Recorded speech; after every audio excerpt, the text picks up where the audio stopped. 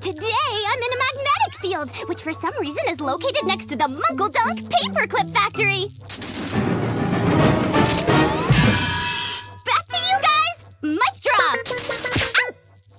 Thanks, Darcy! Mikey and Bunsen signing off. Until tomorrow, keep it snappy and always stay happy! Don't be sad!